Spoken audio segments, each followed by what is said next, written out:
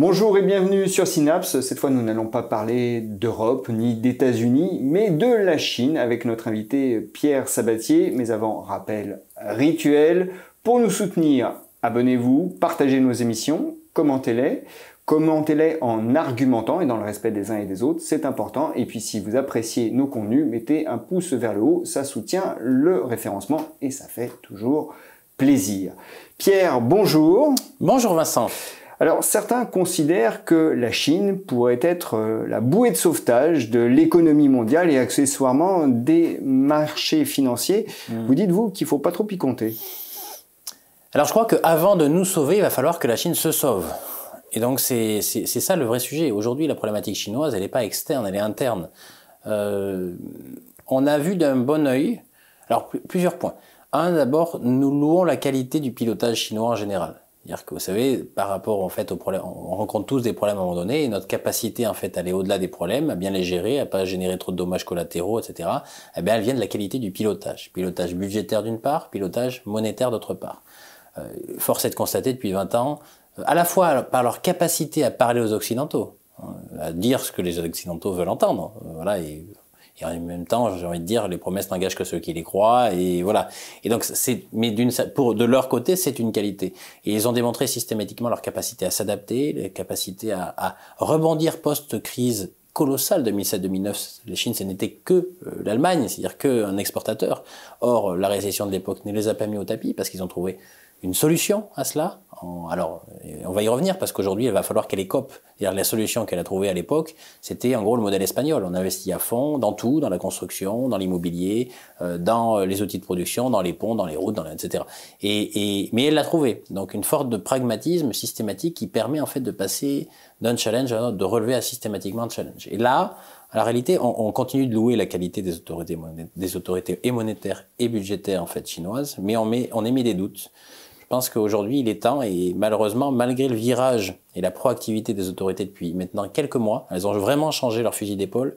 À la différence de l'Europe, des États-Unis, la politique mhm. monétaire là-bas, elle devient de plus en plus expansionniste, de plus en plus en soutien. Ils essayent de remettre. C'est ce que j'allais vous dire. Là, ils essayent de remettre du carburant. Bien sûr, les autres. bien sûr. Il y a une vraie dissonance là pour le coup. Hein. Euh, mais pas, et ça, ça doit nous rassurer et nous inquiéter dire que cette dissonance-là dans un monde qui est dans une économie mondiale qui est déjà en train de ralentir, euh, eh bien, euh, elle doit nous inquiéter. Elle, elle nous indique aussi l'état de l'économie, l'état interne de l'économie chinoise aujourd'hui.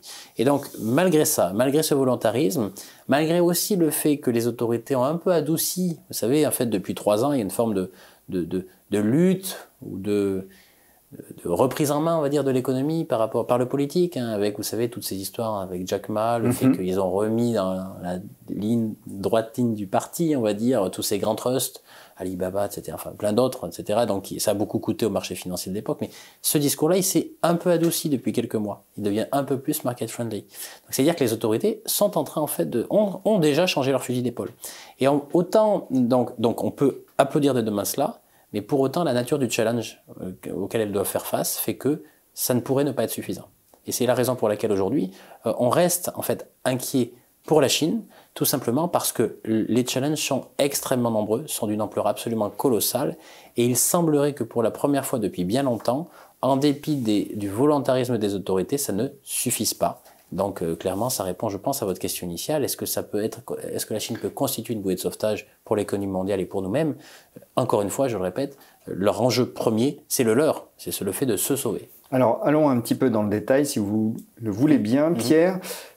Vous avez mentionné euh, les investissements qui ont été euh, déclenchés un peu mhm. tous azimuts en Chine mhm. et le soutien inconsidéré à l'immobilier, qui a créé une bulle gigantesque, bien sûr. qui a éclaté. Bien sûr, Evergrande, enfin voilà, vous rappelez en fait tout, déjà les, les, symptômes de, ces, de ce... Mais justement, est-ce que cette bulle n'est pas tout de même en, en voie d'être complètement purgée aujourd'hui? Elle est loin, même très très loin d'être purgée. Euh, ne serait-ce que parce qu'il même même dans, dans, le cadre des promoteurs immobiliers, parce qu'il faut savoir toutes les boîtes en fait en Chine aujourd'hui, en étant une filiale de promotion immobilière.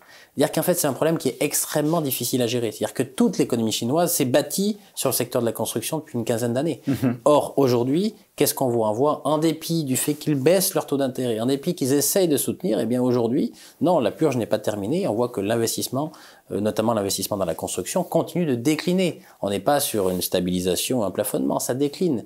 Donc on est en train de purger et il semblerait qu'on n'arrive pas à trouver les leviers en fait pour que ça ne purge pas trop vite. Et donc on est vraiment face à une crise de surendettement associée à une surcapacité de production qui était générée évidemment dans plein de choses, dans l'immobilier, et on est en train là aujourd'hui d'en subir les conséquences en Chine à, un moment où, alors jusque-là ça s'est pas trop vu.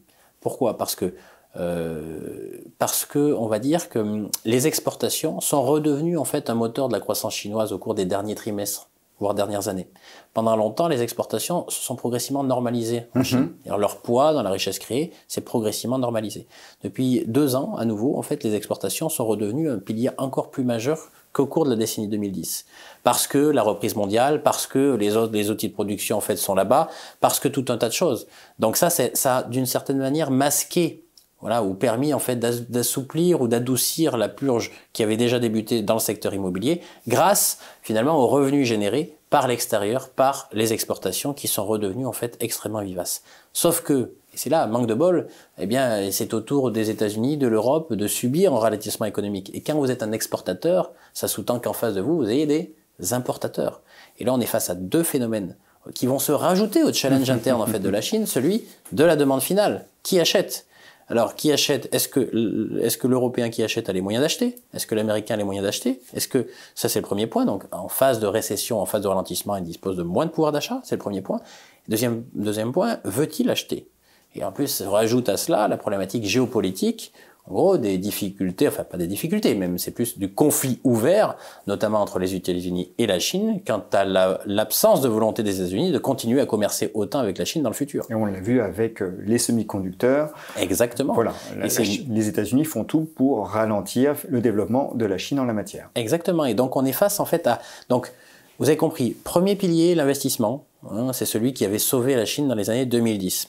Euh, qui pendant un temps, donc le pilier vacille en fait, euh, euh, pendant un temps est compensé par le pilier originel, celui qui a fait le succès des années 2000 de la Chine, les exportations, et là en l'occurrence les exportations commencent en fait à souffrir. Et là, du coup, c'est la raison pour laquelle on, est inquiet, on est inquiet parce que sans les exportations, avec une demande interne qui ralentit structurellement, avec un challenge colossal que les gens n'ont pas en tête, c'est le péril euh, des seniors en fait en Chine. Mhm. Ils s'accélèrent, c'est-à-dire qu'à partir de 2025, il va y avoir carrément un tsunami en fait de seniors, plus de, de, de Chinois de 60 ans que d'Européens sur cette planète, alors que, rien n'est provisionné pour faire face à l'explosion en fait de cette cohorte. Vous, vous rendez compte en fait de l'ensemble des challenges qui sont face aujourd'hui aux autorités chinoises, et c'est pour ça qu'on émet un doute sur le fait qu'elle ait la capacité à s'en sortir au moins à court terme avec en plus voilà l'économie, la récession, enfin en tout cas le ralentissement de l'économie mondiale, qu'elle puisse s'en sortir sans à-coups, sans heurts, sans dommages collatéraux, sans dérapage, et c'est notre impression du moment. Donc, sans aller jusqu'en 2025, qui va être un point d'inflexion majeur, un mhm. point de basculement même euh, complet, de mhm. bouleversement complet euh, démographiquement mhm. pour euh, la Chine, ce que vous dites, c'est que finalement, la faiblesse du yuan ne va pas soutenir les exportations chinoises parce que on est dans un contexte de mhm. ralentissement généralisé. C'est vrai, donc ça c'est alors certains pourront dire oui mais attention, c'est bon, vous inquiétez pas, le yuan baisse, le yuan c'est la monnaie chinoise. Oui, le yuan, le, yuan baisse depuis le mois d'avril, il a dû perdre 13%, donc c'est important, c'est aussi fort qu'en Europe, hein, que l'euro d'ailleurs. Hein. Donc euh, et donc on pourrait penser que ça va être un soutien aux exportations, mais encore encore faut-il que les gens qui achètent euh, puissent acheter. Et donc euh, malheureusement, on, on, pense effectivement que la baisse du yuan, elle est plutôt, euh, elle va plutôt à rebours des intérêts justement de l'économie chinoise actuelle, qui aurait plus intérêt à soutenir sa demande interne que sa demande externe. La demande externe, elle est déjà là. Euh, et en plus, elle est en train de ralentir en termes de pouvoir d'achat. C'est-à-dire que les Européens, les Américains, en fait, mhm. euh, sont en train de subir le ralentissement. Donc, qu'est-ce qui vaudrait mieux? Il aurait mieux valu, en fait, d'avoir un one fort qui permette de moins importer, en fait, d'inflation, ou de mieux supporter les coûts de production et de renforcer le pouvoir d'achat des Chinois pour pouvoir progressivement consolider, en fait, les fondations de l'économie chinoise sur eux-mêmes, à savoir sur la consommation des Chinois. Or, la baisse du yuan, elle vient affaiblir en réalité la capacité des Chinois à acheter, euh, à continuer à consommer autant que par le passé. Vous voyez donc, quand vous regardez un à un tous ces piliers-là, eh bien tous paraissent fragiles. Certains plus que d'autres évidemment. Mais en l'occurrence, on a une forme d'alignement des planètes qui n'est pas très favorable. Et j'ai peur, pour le coup, hein, qu'en dépit de, de, la conviction qu'on a quant à la qualité du pilotage des autorités chinoises, encore une fois qu'elles soient budgétaires ou monétaires, que ça ne soit pas suffisant face à l'intensité des challenges et surtout à la coïncidence de chacun de ces challenges qui arrivent maintenant. Un graphique euh, qu'on va faire apparaître qui, et que je vais vous demander de, de commenter, c'est la fuite des capitaux en Chine. Et c'est peut-être l'indicateur le plus pertinent mm. des difficultés actuelles de la Chine. Oui, alors on adore cet indicateur. Ça consiste à faire la différence entre l'évolution des réserves de change mobilisées par la Banque centrale et euh, les échanges extérieurs, donc la balance commerciale en fait chinoise. Et ça vous permet d'évaluer finalement le volume de flux entrant donc euh, en Chine ou de flux sortant. Pourquoi on l'adore? Parce qu'au final, ça reste un pays compliqué à appréhender avec les grilles traditionnelles, euh, standardisées, rationnelles qu'on peut porter sur l'Europe ou aux États-Unis, alors on pourrait même débattre quand même de la qualité des données qui y sont diffusées, mais enfin, il n'y a pas débat entre la qualité des données américaines et européennes versus celle des Chinois. Donc il n'y a pas de sujet. Donc vous voyez, tout ce qu'on a dit jusqu'à maintenant sur la base de chiffres, on pourrait aussi en fait un peu les remettre en question. Il faut faire attention à ça. Hein. C'est, c'est, c'est, euh, mm-hmm. voilà, c'est, on peut être pris à revers quant à la qualité du chiffre. Pourquoi on adore en fait ce, ce, cet indicateur-là? On le suit avec beaucoup d'attention. Ça nous avait permis à l'époque des années 2014-2015 en fait de bien anticiper en fait les difficultés éprouvé à l'époque par l'économie chinoise et d'ailleurs qui avait amené les marchés, financiers internationaux à beaucoup corriger en 2015, euh, c'est parce qu'en réalité ça nous donne un bon indicateur de ce que pensent les Chinois de leur propre économie à travers leur volonté en fait de garder l'argent en interne ou de le sortir du pays. Et ça, c'est le plus important. C'est-à-dire qu'en fait, en réalité, l'important pour nous, c'est de savoir ce que pensent les Chinois de, de, en termes de projection de la capacité de leur pays à s'en sortir ou pas. Or aujourd'hui, qu'est-ce qui se passe? On retrouve en termes de fuite de capitaux, c'est-à-dire que les Chinois sortent de l'argent en fait du pays, et donc ça en général c'est pas très bon signe. Donc on atteint des niveaux qui étaient ceux de 2014-2015. D'ores et déjà à l'époque, hein, on avait des Chinois, les gens qui avaient accumulé une fortune. C'est simple. Hein. Qu'est-ce qui se passe en termes de raisonnement? Vous avez accumulé une fortune grâce au business que vous avez fait jusque-là. Eh bien, vous voulez pas la perdre. Si vous pensez que votre pays va bien, vous le laissez en interne parce qu'il n'y a pas de raison en fait d'aller le mettre ailleurs. Si vous pensez que votre pays, est fragile ou va connaître des difficultés, ben naturellement, vous faites ce qu'on fait un Européen en fait traditionnellement quand il a peur, ou un Français quand il a peur. Et eh ben il loue un coffre et à Genève et il va placer son argent en Suisse.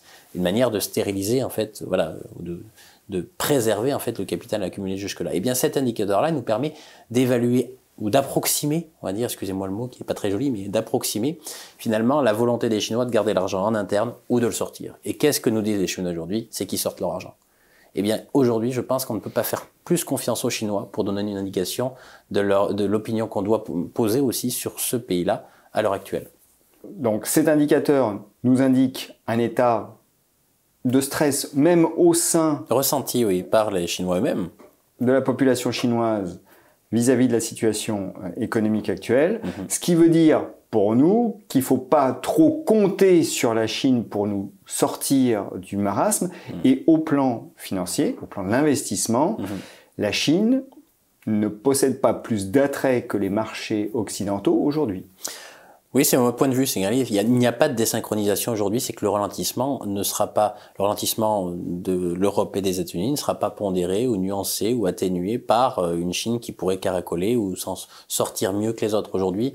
Pour d'autres raisons, hein, comme on l'a évoqué, pour des raisons plus internes qu'externes, elle aussi doit subir en fait un ralentissement qu'elle aura du mal en fait d'ailleurs à contrecarrer. Pierre, merci beaucoup. Merci Vincent. Merci à vous de nous avoir suivis. Abonnez-vous, commentez, partagez et mettez un pouce vers le haut si vous avez apprécié, bien sûr. À très bientôt.